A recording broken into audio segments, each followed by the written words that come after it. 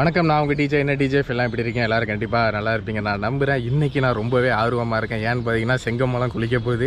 என்னடா சொல்கிறேன் செங்கமலம் குளிக்கிறது எட்டி பார்க்குறியா அப்படிலாம் கேட்காதீங்க. செங்கமலங்கிறது ராஜகோபாலசாமி யானை தாங்க அந்த யானையை தான் நம்ம இப்போ பார்க்க போகிறோம் இது world level famous hair hair ஸ்டைல்லாம் பார்த்தீங்கன்னா நீங்களே மயங்கி சொக்கி விழுந்துருவீங்க வாங்க அதை பற்றி வீடியோவில் பார்க்கலாம். வாங்க வீடியோக்குள்ள போகலாம் யானையை பார்க்க வந்துட்டோம். ரொம்பவே சந்தோஷமாக இருக்குது உள்ளே உள்ளவங்க அவ்வளோ ஸ்வீட்டாக வந்து நம்மளை மட்டும் அலோவ் பண்ணாங்க. ரொம்பவே ஹாப்பியாக இருக்குது. யானையை இப்போ நீங்கள் பாருங்கள் சினிமேட்டிக் ஷாட்டில் நீங்கள் பார்க்கலாம். செங்கமலத்துக்கு பார்த்தீங்களா ஷெட்டாக எப்படி இருக்குன்னு அவ்வளோ சூப்பராக போட்டிருக்காங்க.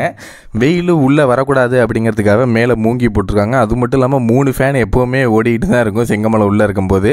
அவ்வளோ சேஃப்டியாகவே பார்த்துக்கிறாங்க ஷெட்டுக்குள்ளே செங்கமலத்தை பார்த்துக்கிட்டு இருந்தோம். இப்போ யானை வந்து குளிக்க வெளில வர ஆரம்பிச்சிட்டு அதை பார்க்கும்போது நான் மட்டும் சந்தோஷமாக இல்லைங்க. அங்கே சுற்றி உள்ள எல்லாருமே ரொம்பவே சந்தோஷமாயிட்டாங்க.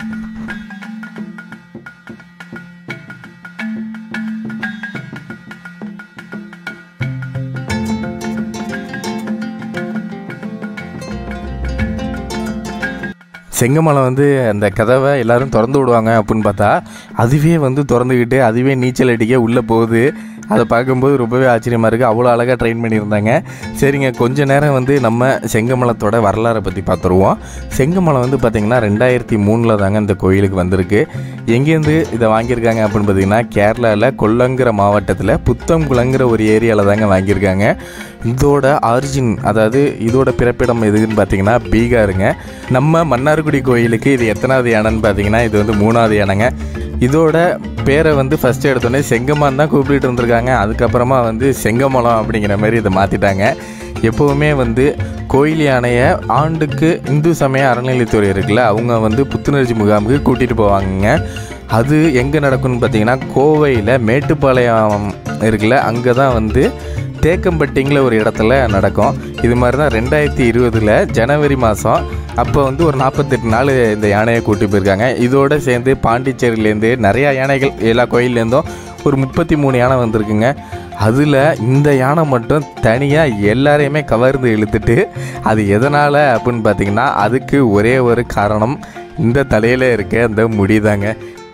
உலகத்திலே பார்த்தீங்கன்னா எந்த யானைக்கும் இந்த அளவு முடி கிடையாது அப்படிங்கிற மாதிரி தான் சொல்கிறாங்க இதை வளர்த்ததில் கண்டிப்பாக ராஜகோபாலுங்கிற யானை பாகன் அவர்களுக்கு ரொம்பவே நன்றி தெரிவிச்சுக்கிறோம். ஏன்னா இந்த மாதிரி ஹேர் ஸ்டைலு நீங்கள் செங்கமலது கொண்டு வந்ததுனால தான் மன்னார்குடியே ஃபேமஸ் ஆயிடுச்சுங்கிறதே நம்ம கண்டிப்பாக அதுலேருந்து இது புரிஞ்சுக்கணும். மன்னார்குடினா இதுக்கு முன்னாடி வந்து நிறையா ஃபேமஸ் இருந்துச்சு. ஆனால் இப்போ வந்து மன்னார்குடின்னு தட்டினாலே நம்ம செங்கமலையான தான் யூடியூப்லேயுமே வந்து நிற்குங்க இதுக்கு செல்ல பேர் பல பேர் இருக்குது. இதுக்கு வந்து பாப்கட் செங்கமலம் அப்படிங்கிற மாதிரி சொல்கிறாங்க பேரை கேட்கும்போதே அவ்வளோ க்யூட்டாக இருக்குல்ல. பல பெண்கள்லாம் கூட புறாமப்படுவாங்கன்னு நினைக்கிறேன். நம்மளுக்கே இந்த மாதிரி பிடி வளர மாட்டேது அப்படின்னு. இங்கே இருக்காங்க பார்த்தீங்களா ராஜகோபால். இவங்க தான் யானைப்பாகன் இவங்க சின்ன வயசில் இவங்க அப்பா அம்மா தவறி கிணத்துல விழுந்துட்டாங்க. அப்போதைக்கு இவரும் வந்து தன்னோட தாய் தந்தையை காப்பாற்றுறதுக்காக குதிக்க போயிருக்காரு. அப்போ வளர்ந்த யானை வந்து இவரை பிடிச்சிடுச்சு. பிடிச்சி என்ன பண்ணியிருக்கு? கத்திருக்கு கத்துனோடனே அங்கேருந்து நிறைய பேர் வந்து மக்கள்லாம் பார்த்து அதுக்கப்புறம் ஃபயர் சர்வீஸ்க்கு ஃபோன் பண்ணி இவரை காப்பாற்றிருக்காங்க அதனால இவர் நன்றி கடன் செய்யும் விதமாக அந்த யானையை ரொம்பவே சூப்பராக பார்த்துட்டு இருக்காரு. அழகாகவும் பார்க்குறாரு. செங்கமலத்தோட வயசு பார்த்திங்கன்னா இப்போதைக்கு முப்பத்தி அஞ்சு ஆகுதுங்க. செங்கமலம் இதுக்கு முன்னாடி சவரில் தான் குளிச்சிட்டு இருந்தது. அந்த சவர் மட்டுமே எழுபத்தஞ்சாயிரம் ரூபாய்க்கு ரெடி பண்ணி இருந்திருக்காங்க. அதுக்கப்புறம் மன்னார்குடி சட்டமன்ற உறுப்பினர் இருக்காரில் டிஆர்பி ராஜா. அவர் தான் கோரிக்கையை வச்சு ஸ்விம்மிங் பூல் கட்டி கொடுங்க அப்படிங்கிற மாதிரி சொன்னாங்க. அதுக்கப்புறமா ஸ்விம்மிங் பூலும் கட்டியாச்சு. இந்த ஸ்விம்மிங் பூல் மொத்தம் ஆறரை அடி உயரங்க. அதுக்கப்புறம் ஐநூறு சதுர அடி பரப்பளவு இது இருக்குது. அது மட்டும் இல்லாமல் இதை ஓப்பன் பண்ணி வச்சது யாருன்னு பார்த்தீங்கன்னா டிஆர்பி ராஜா அவர்களை தான் ஓப்பன் பண்ணியிருக்காங்க. இதோட மொத்த செலவு கிட்டத்தட்ட பத்து லட்சங்க. செங்கமலத்தோட முடி இவ்வளோ அழகாக இருக்கிறதுக்கு காரணம் என்னென்னு பார்த்தீங்கன்னா அதுக்கு ஷாம்பு வந்து இவங்களே ரெடி பண்ணுறாங்க அந்த ஷாம்புவால் தான் முடி கொஞ்சம் சீக்கிரம் வளர்றதா சொல்கிறாங்க செங்கமலம் குளிச்சுட்டு வந்ததுக்கப்புறம் அதோட முடியை துவட்டி விட்டு முடியை அழகாக சீவிடுவாங்க. அந்த முடி சீவறதை பார்க்குறதுக்கே பல பேர் வந்து கூட்ட கூட்டமாக நிறைய பேர் வராங்க மன்னார்குடி மக்கள். அதோட மேக்கப் கிட்ட பார்த்தீங்களா எப்படி இருக்குன்னு? இனிமேல் இதுக்கு வந்து ஒரு நாமம் போடுவாங்க. அந்த நாமத்தை வந்து அவங்க எவ்வளோ அழகாக போடுறாங்கன்னு பாருங்கள் ஸ்கேலு இதெல்லாம் இல்லாமல் அவ்வளோ சூப்பராக பெர்ஃபெக்டாக நாமம் போடுறாங்க.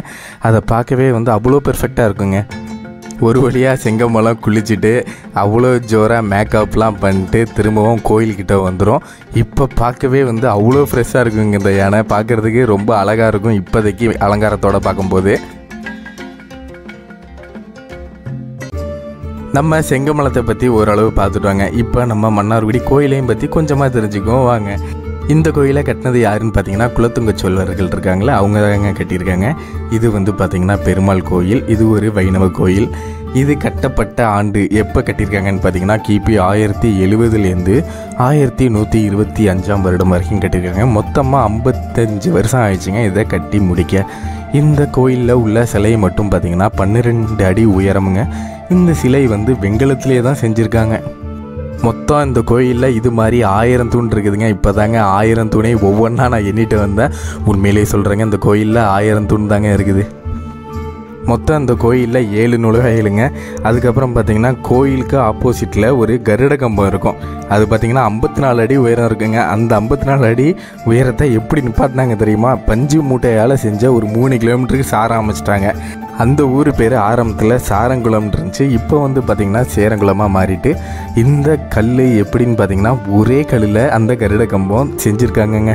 கோயில் மட்டுமே பார்த்தீங்கன்னா மொத்தம் இருபத்தி மூணு ஏக்கருங்க. இதை ஒரு சுற்றி சுற்றி வரப்போகிறோம் உள்ளே போய் சாமி கும்பிட்டாச்சு உள்ளவே ஒரு ப்ளசண்ட்டாக இருந்துச்சு. ஆனால் உள்ளே நம்ம கேமரா எடுக்கக்கூடாது. எடுக்க நான் அனுமதிக்கவும் மாட்டேன். அவங்களும் அனுமதிக்க மாட்டாங்க அது ஒரு விஷயம்.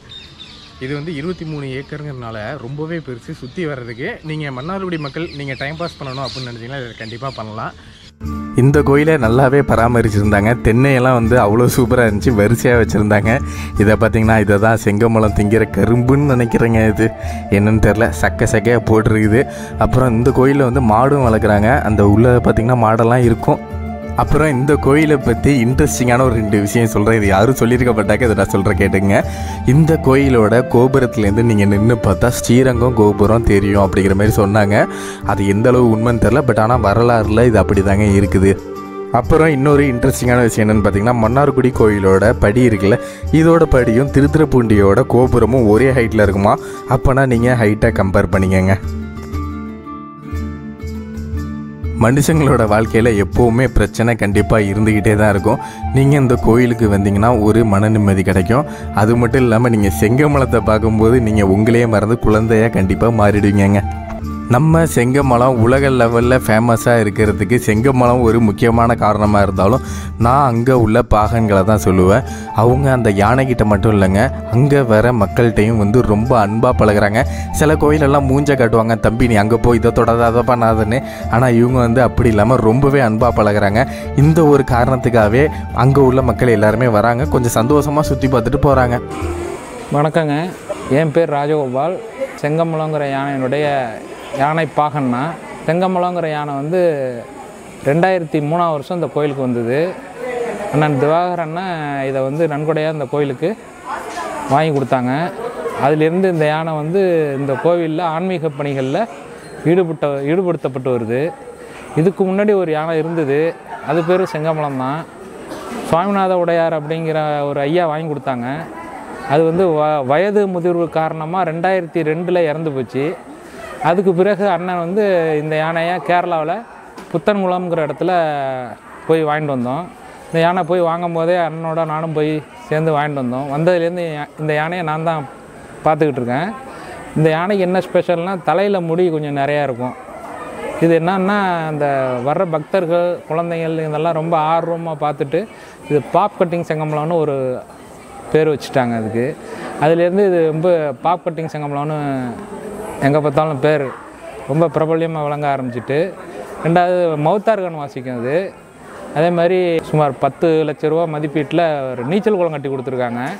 அதில் தினமும் குளித்து நல்லா ரொம்ப குதகுலமாக இருக்குது யானை அதே மாதிரி கோயில் நிர்வாகத்துலேயும் இந்த யானையை ரொம்ப ரொம்ப பாதுகாப்பாக வச்சு பயன்படுத்திக்கிட்டு இருக்காங்க.